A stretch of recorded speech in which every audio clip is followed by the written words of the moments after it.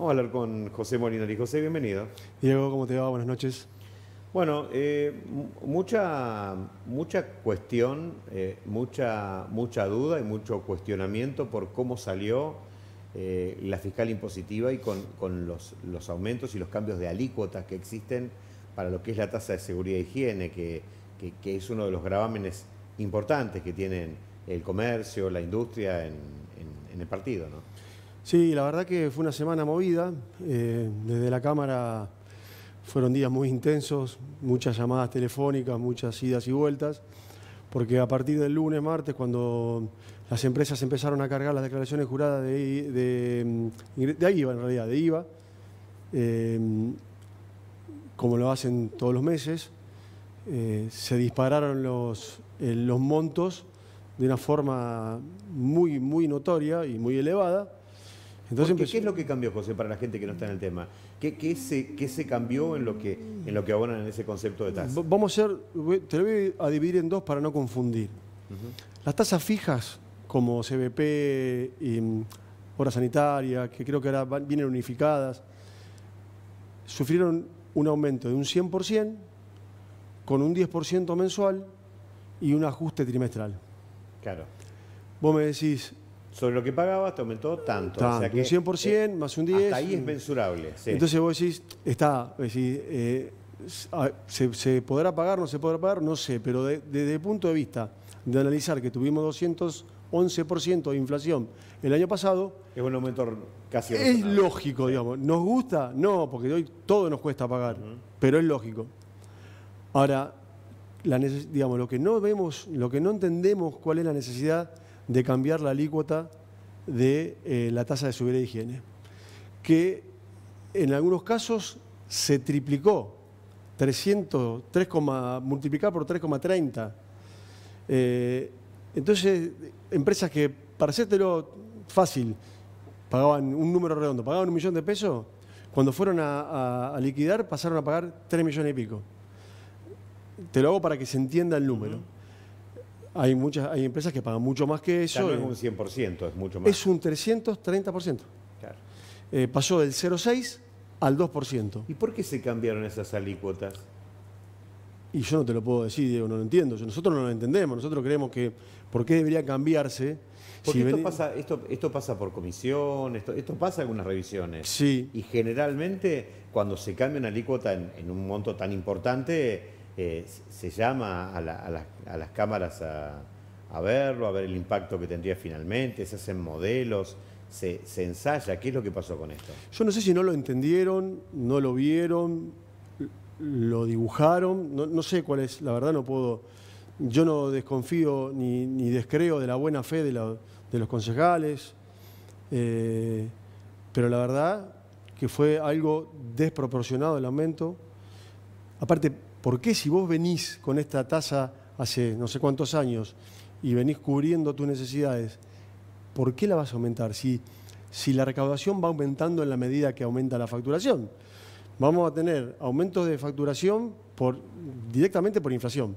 No sé si vamos a vender lo mismo, un poco más o, menos, Pero cobrándolo mucho más. Pero, pero con una inflación importante, donde vos digamos, la alícuota, va a seguir, digamos, o sea, el ajuste viene por, la inflación de la facturación. No sé por qué la cambian, no, no lo podemos entender. Y a mí lo que me, llama la atención, pues vuelvo, vuelvo sobre lo mismo, a, costo de ser reiterativo. Hay una comisión de presupuesto y hacienda, esto, esto no va derecho a... Nadie lo vio ahí, o sea, Viste que generalmente el debate se arma antes y algún concejal de la oposición dice, eh, están aumentando esta alícuota, aquella otra, todo lo demás. No, es que se vota directamente y después que aumentó, bueno, lo vemos. Diego, aparte yo lo que digo, cuando vas a hablar de este tipo de, modificaciones, ¿por qué no llamás al sector? Hay varias cámaras de Junín. Aparte de la Capinova hay varias cámaras más. Que, ¿Por qué no nos convocan y lo discutimos, lo analizamos? O sea, somos los que entendemos de esto. Entonces, la verdad, no sé cómo pasó, qué pasó. bueno, nos enteramos así, cuando de repente de un día para otro empezaron a llamarnos de todos lados qué había pasado con la tasa de seguridad y higiene. Bueno, la verdad que se iniciaron Pasó por debajo del radar, sí.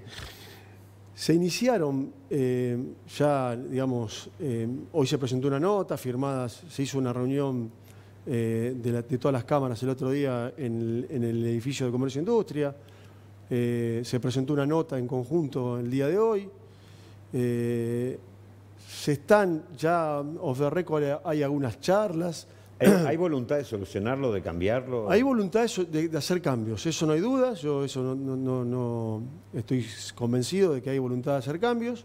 Lo que pasa es que hasta que no nos respondan esta, esta carta o esta nota y evaluemos cuál es el, eh, la voluntad del cambio, mucho más no podemos hablar. Nosotros creemos que no debería tocarse, eh, o sea, que tendríamos que volver a diciembre, con las alícuotas como estábamos. Eso es el convencimiento que tenemos dentro de, Capi, dentro de Capinova. porque, el ajuste por inflación lo van a tener por inflación. O claro. sea, e, es una, es una tasa, por decirle a la gente burdamente, que, aumenta simplemente por, por el paso de la inflación. O sea, no hace falta que se toque nada. Nada. se ajusta sola. De última, potenciemos a, a las pymes, démosle, digamos, herramientas para que crezcamos y automáticamente nuestro crecimiento va atado a esta alícuota.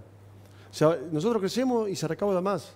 Entonces, es como ingresos brutos, que yo hoy lo explicaba en la radio, em, que es un impuesto terriblemente distorsivo, regresivo, eh, todos los calificativos, pero es el 5%, y ese 5%, hace muchos años que es, entonces el 5%. Entonces la explicación que nos daban, hace muchos años que no tocábamos, no ajustábamos la alícuota. O sea que si el próximo intendente está cuatro años sin ajustarla, también la va a ajustar. Y el próximo la va a ajustar de vuelta porque no la ajustaron por cuatro años. Entonces yo digo, digo, ¿qué terminamos pagando el 10%? O sea, hoy, hoy con el 2% es un ingreso bruto eh, municipal. El 2% es un ingreso, un ingreso bruto municipal.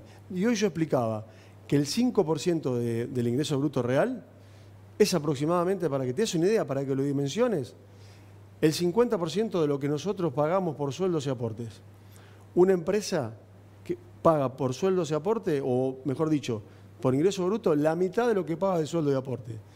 si nosotros pudiéramos no pagar ingreso bruto, que no se puede, ¿no? porque con eso se financia la, provincia, podríamos tener un 50% más de empleados dentro de un, de, un comercio. Es, mucho, es, es, una, es, una sociedad, claro. Bueno, y a eso pensá, si le agregás dos puntos más de esta alícuota, de esta tasa, juninense. Se hace inviable. Va, a haber muchas empresas que no lo van a poder pagar.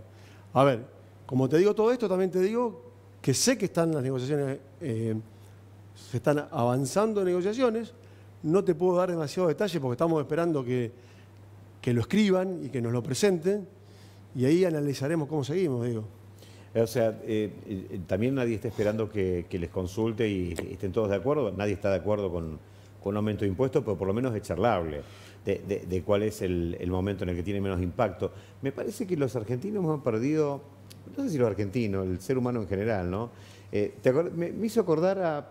¿Te acuerdas del gobierno de Macri que le decían, los, opositores le decían, se manejan con el Excel, ¿no? Sí.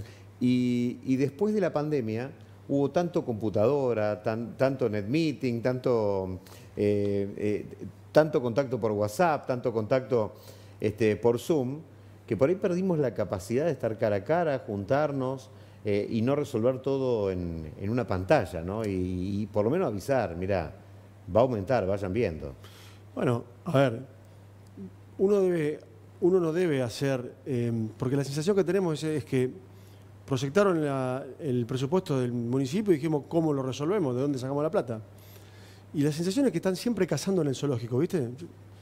Siempre vamos al mismo lugar, ahí se busca la plata y nos vamos a quedar sin animales en el zoológico. Entonces, me parece que hay que sacarle la pata a la pyme de la cabeza. Eh, no, estamos pasados de impuestos.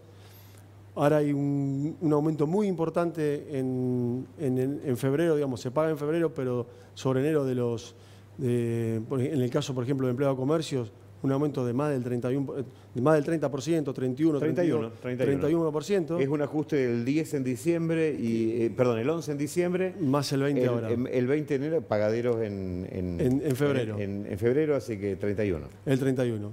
Vos imagínate, nadie discute de que los sueldos deben aumentar. Ahora después también hay que pagarlos.